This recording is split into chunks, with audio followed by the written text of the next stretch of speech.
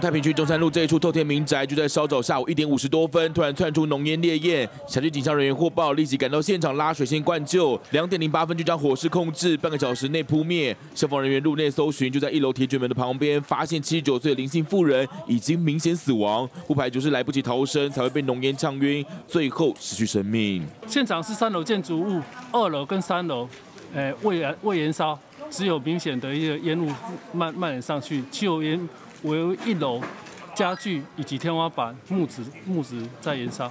死者五十多岁儿子结婚二号赶回家里，一度难过到泣不成声，表示自己一早就出门工作，平时和母亲同住，母亲的身体都还可以自理，没想到却碰上火警意外。警消也特别提醒，由于进入冬季，气温骤降，民众使用电暖气相关设备务必要多加注意。而这回火警的发生主因还有待进一步调查厘清。